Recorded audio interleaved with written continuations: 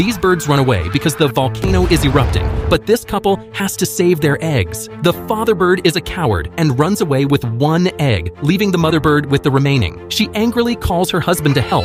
The father bird quickly approaches her, but he simply stuffs her mouth with the egg and runs again. Unfortunately, his egg has rolled down the mountain and the father runs after it, but the egg launches into the air and lands on a tree. Soon, the mother arrives with three eggs, but the stupid father throws the eggs towards the tree to save the egg stuck in the tree.